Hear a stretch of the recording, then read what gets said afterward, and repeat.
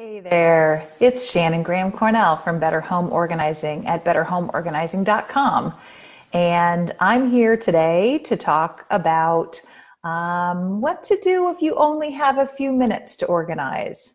And, uh, you know, if you don't have all day to devote to a project or a whole weekend or a whole month to devote to a project, can you still a- achieve an organized space? And the good news is, yes, you can. Um, it'll take a little bit longer, but it's completely doable. So that's what we're going to focus on today. What if you're busy and you only have those 15 minutes here and there? Um, or maybe if you're lucky, you have a couple of hours on a weekend, but really no more than that. So we're going to talk about that. Um, and listen, I love getting to organize a space where I am pulling everything out and I'm able to holistically assess the function of a whole room and um, you know really think about uh, all of the categories of objects that I keep in that space and really plan it out. In fact, when I did that, um, or the last time I did that was when I was redoing my home office, and I actually I did it during the workday. So my husband was at work, and I had a blast sending him really terrifying pictures of an empty home office. Like I'd cleared everything out and piles of stuff all over the floor, uh, kind of in the open area that um, uh, is really my home office is on the entry level of our townhome. So, really, the only thing here is the home office and a front door and a garage door and the access to our living level. And all of the space that was not my home office was full of categories of stuff. And he was terrified. He was like, Oh, and I had to remind him, it often gets worse before it gets better. Um, and that was a blast. And I had everything put away, uh, pretty much final uh, when he got by the time he got home. But here's the thing: I was working all day by myself with no distractions, I was the owner of all of the objects. So I was the decision maker for everything in the room. I didn't have to consult anybody else. And I was able to focus on that project. And it still took me all day. So, I mean, it was not a quick project. That's a special circumstance. We don't really often get that where, you know, everyone in our house goes away and we're able to just tackle a single space without having any interruptions. So on the one hand, it's so much fun to organize that way, but it's not going to happen like that all the time. So, um, or maybe even very often, depending on, uh, you know, the environment you have in your home. And if you've got littles, then forget it. You're not going to get a whole weekend of uh, organizing time. So, how do you do that in 15 minutes or so? Uh, if you're lucky, a couple of hours. Um, so I have a couple of recommendations for how to get started and for how to make the most out of those 15 minutes. So the first recommendation I would give you is start with the space in your home and it's going to vary from person to person, but start with the space in your home that really bothers you. It may bother you because it's just messy looking. And so when you look at it, it's just super stressful um, just because it's so cluttered, it really bothers you. It may bother you because getting to the stuff in that space is annoying. It may be that, you know, everything that you seem to always need is like the third box from the bottom of a pile of boxes. And so you have to, you know, move everything out of the way to get to what it is you're looking for. Or it just could be a space where it's not organized in any way so that you can find what you're looking for. Any of those spaces or, you know, uh, any of those reasons could make a space something that would bother you. So start there. And what the reason I say start there and it could be your bedroom, it could be your kitchen, it could be your entryway, a bathroom, whatever. And it does, it'll, like I said, it'll vary from person to person.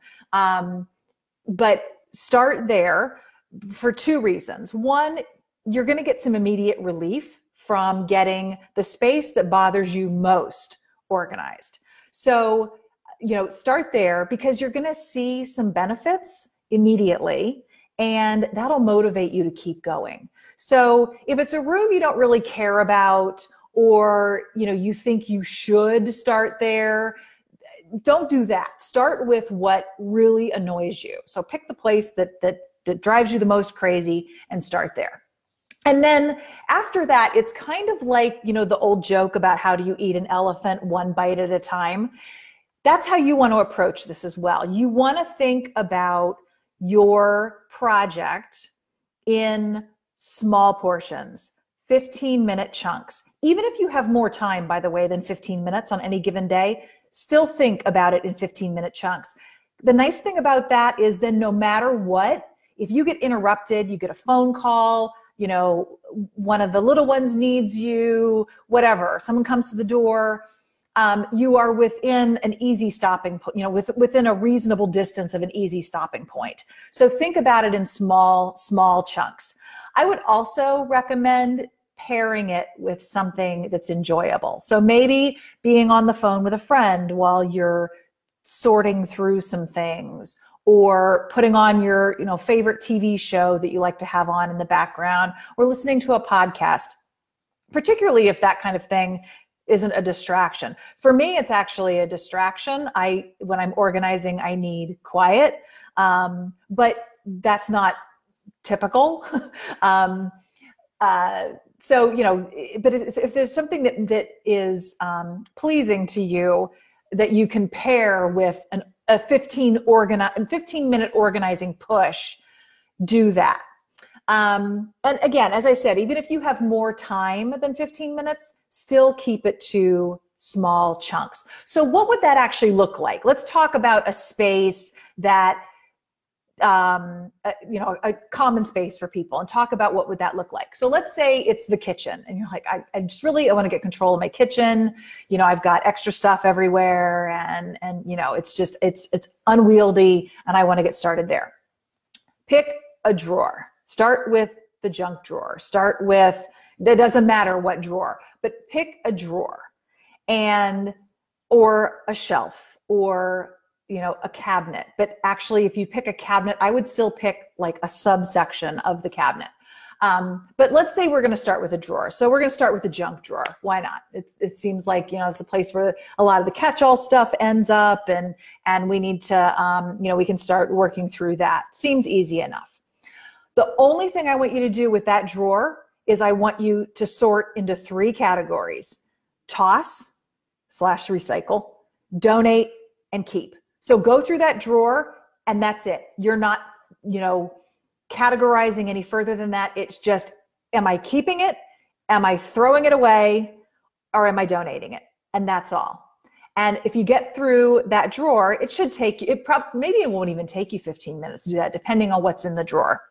But pull everything out, take everything out of the drawer and do that.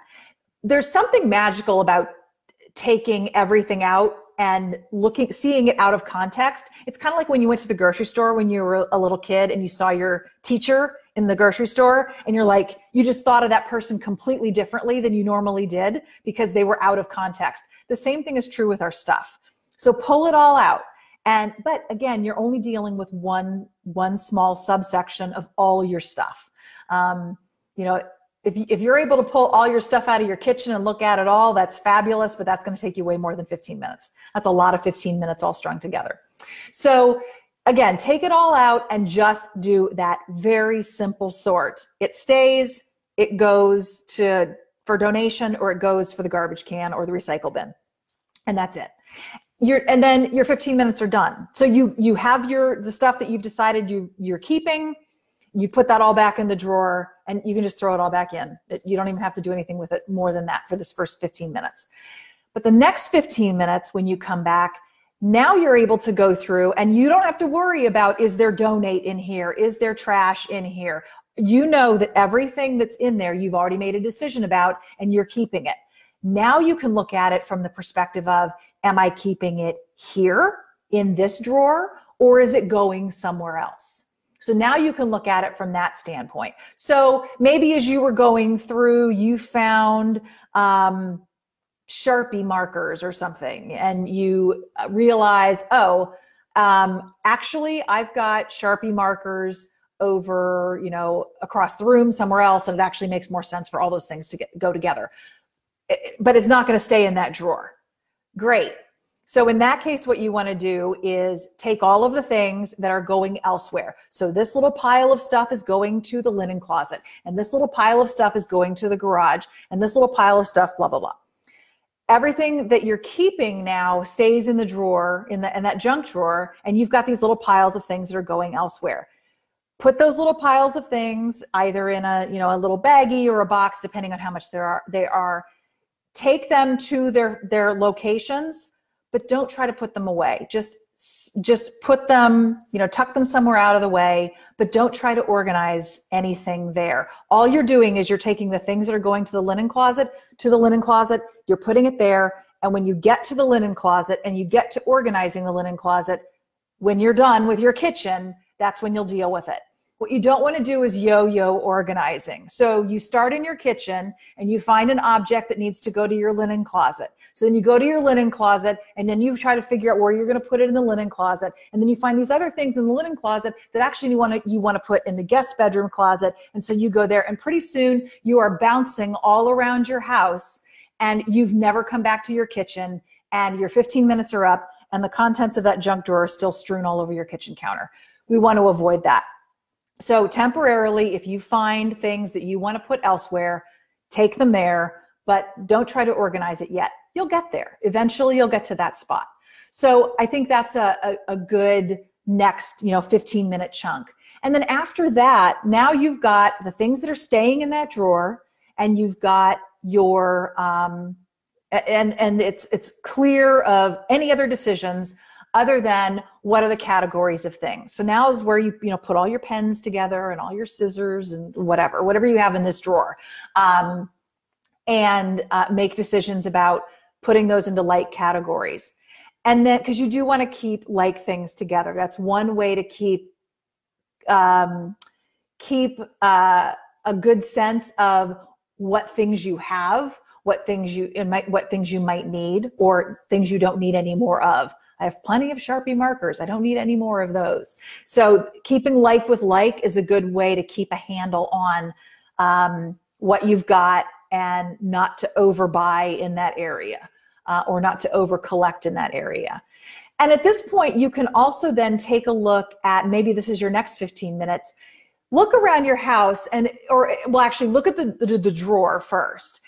Do you need any like little temporary products to help keep what you've done in that one drawer tidy while you work on the next space. So that's this is where you might look around your house and see if you've got any extra bins that, you know, from something else or you can cut down a shoebox or, you know, do some kind of makeshift stuff or go to the dollar store and get yourself some some cheap dividers uh, you know or something like that to help keep things tidy um, or you can skip that step altogether um, if if you're if you're not um, uh, interested in getting any products just yet.